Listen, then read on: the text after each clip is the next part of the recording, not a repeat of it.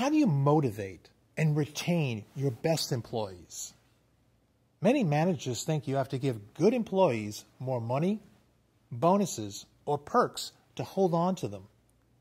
But surveys show this isn't the case. The major motivator and key reason people stay in their jobs is appreciation. The problem is, many managers act as if compliments are dollar bills coming out of their bank accounts. If you're a manager who wants to reward your top employees, consider giving them some of the following.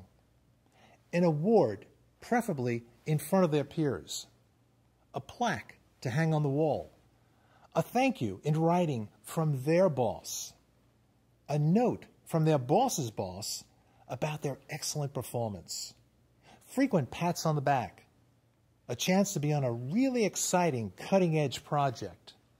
The next time you want to reward your top people, consider appreciation. You'll be surprised at how many talented people you will hang on to.